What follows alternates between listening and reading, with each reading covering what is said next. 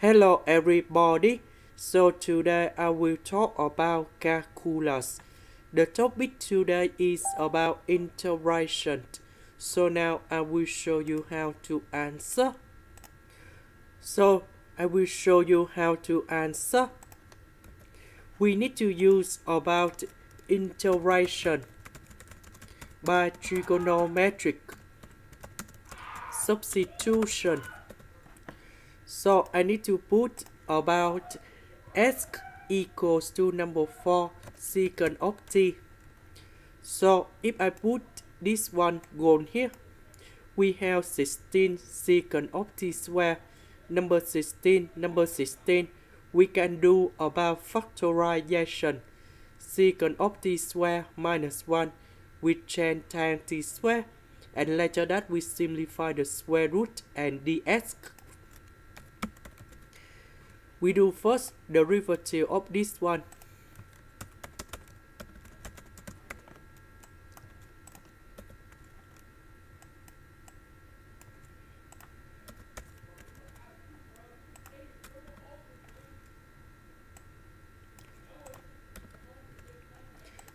Next, we can do about 16 secant of t square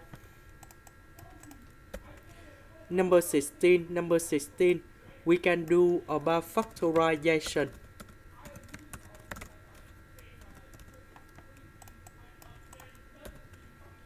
This one that is about identity.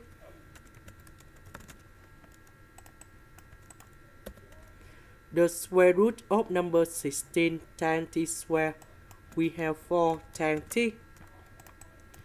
And now we need to simplify 4 secant of t tan t on numerator and denominator.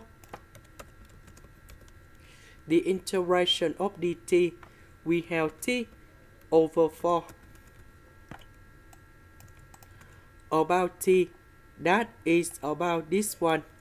So we need to divide both sides by number 4. And we got about t equals to arcsecant of s over 4. So I need to put this one to change for t.